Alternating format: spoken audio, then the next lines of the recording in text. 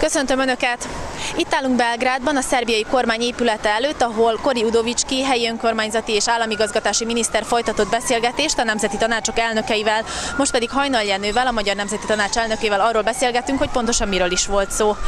Megsokszorozódtak a kormány és a Nemzeti Tanácsok találkozói, közelmúltban is volt egy külügyminiszteri találkozó, ez ehhez kapcsolódik, vagy most már ez valami más? Természetesen a harmadik kisebbségügyi tanácsülés volt, amelynek az elnöke a kormány elnök, ő sajnos nem tudott ezen ülésen részt venni, viszont az elmúlt ülés közötti aktivitásokat tárgyaltuk végig, és három nagyon fontos találkozó volt. Egyrészt a, az oktatási miniszterrel, a tájékoztatási miniszterrel, harmadiként pedig a külügyminiszterrel. Mindhárom témában elhangzottakat tárgyaltuk újra, tekintettük át, és hát a mi szempontunkban nyilvánvaló, hogy az oktatás volt az egyik legfontosabb, hiszen az oktatáson belül azok a kérelmek fogalmazódtak meg, amelyek elsősorban a 15 ö, főnél kisebb létszámú osztályok megtartására nyújtottunk be igényünket. A tanfelügyelőséggel kapcsolatos anyanyelvhez kapcsolódó igényeket fogalmaztuk meg, a tankönyvek behozatával kapcsolatos fontos dolgokat tárgyaltunk meg, és mindez együtt azt hiszem, hogy elsősorban a kisebbségi oktatásnak az alapvető kérdései kerültek az elmúlt időszakban a figyelem középpontjába, és hát a legtöbb észrevétel egyebek között arról arról hangzott el, hogy egy szorosabb kapcsolat kellene, hogy, és egy emberi kapcsolat az oktatási miniszter és a nemzeti tanácsok között, hiszen éppen amit leginkább hiányoltunk, hogy szeptemberben még igazán nem tudtuk, sőt a mai napig is még bizonytalan, hogy hogyan, miként alakulnak ezek az osztályok, ezeknek a finanszírozása, amelyek ugye tudjuk, hogy kritikus létszám alatt nyíltak meg szeptember 1-én. A tájékoztatás szempontjából egy olyan időszakon vagyunk túl, amikor tudjuk, hogy a magánosítás a helyi médiával kapcsolatban lezárult, egy új szakasza lezárult pontosabban. Itt most azt a tájékoztatást kaptuk meg, hogy a 23 magánosításra szánt média közül 50 került az ügynökség által meghirdetésre, és 36 média került eladásra, ez 72 os eredmény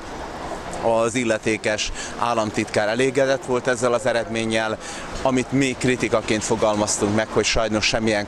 olyan előrelépés nem történt, és most se kaptunk arra a választ, hogy hogyan tovább a magánosítási akció után. Épp ezért az elnök asszony javasolta, hogy nagyon rövid időn belül még ebben a hónapnak a közepéig egy megbeszélést tartanánk, ahol együtt valamennyi nemzeti tanács áttekinteni az illetékes minisztérium szakembereivel, államtitkárával, hogy hogyan lehetne a most fölállt helyzeten módosítani, segíteni. Itt mindeneken őt az úgynevezett projektorientáció támogatásnak a módját kellene megtalálni, hogy hogyan lehetne, milyen módokat lehetne találni arra, hogy a kisebbségi média élni tudjon. Az, ami egyértelmű vált a Nemzeti Tanács szempontjából az az elképzelésünk, hogy a például a Szabadkai Rádió magyar szerkesztőségének az átmentése olyan formában történjen meg, hogy ezt mi kezdeményeztük és javasoltuk. Ez ebbe a szempontból, ebbe a koncepcióba teljes mértékben beleillik, hiszen számos más törvényi akadály nehezítette meg azokat az elképzeléseket, amelyek egy önálló alapítvány létrehozását kezdeményezték, és amelyek most már még inkább nyilvánvaló válik, hogy szinte ellehetetlenítette volna azokat az elképzeléseket, amelyek a kezdeményezők akkor javasoltak. Harmadikként pedig, ami fontos volt a külügyminisztériummal való kapcsolattartáson belül az, hogy egyebek között én is ezt kezdeményeztem akkor is a jegyzőkönyvbe is bekerült, hogy a kormányközi kisebbségi vegyes bizottságokat kellene életre kelteni, hiszen négy-öt év után nem működnek már, és ezek nagyon fontos feladatokat tudnának ellátni.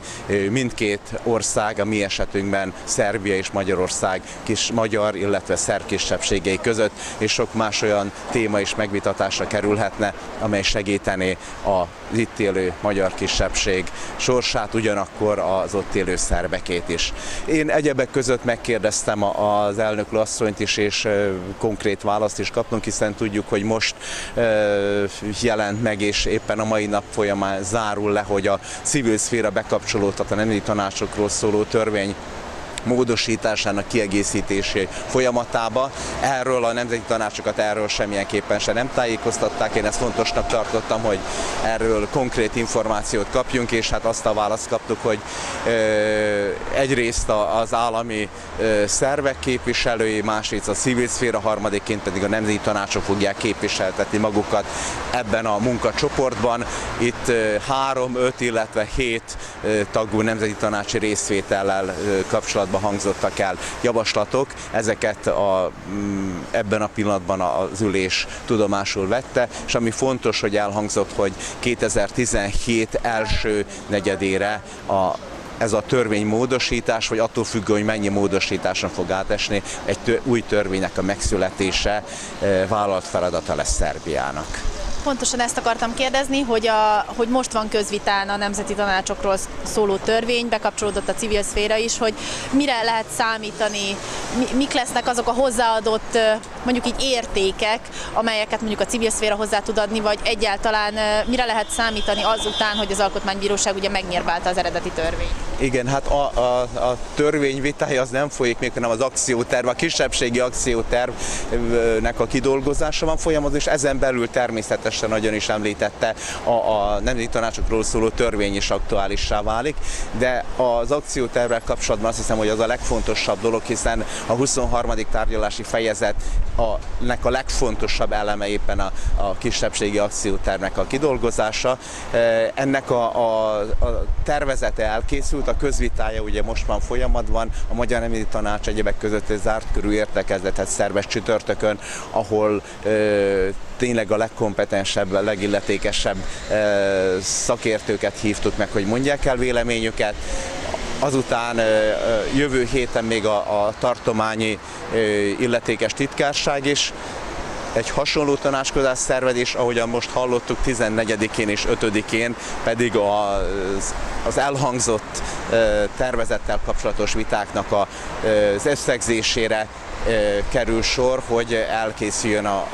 tervezetből az a javaslat, amely azután majd a tárgyalási fejezet részeként fog majd dokumentumként megjelenni. És hát ezen belül nyilvánvalóan, hogy számunkra a legfontosabb a nemzeti tanácsokról szóló törvénynek a minél pontosos, pontosabb, részletesebb kidolgozása, és hát itt számos olyan kételj merült föl, hogy hogyan, miként fog egyáltalán a, az alkotmánybírósággal által, által elvett jogoknak a kiegészülése, mi történik mindezekkel. Tehát mindezek nyitott kérdések, legelőször azonban úgy látszik, hogy az akcióterv elfogadása lesz a legfontosabb, de már párhuzamosan elindult egy újabb folyamat is, és hát ennek örülünk, hiszen nekünk nagyon fontos, hogy a nemzeti tanácsokról szóló törvény mielőtt megszülessen, és olyan formában és olyan hatáskörökkel, amelyek az itt élő magyar kisebbséget erősítik, segítik.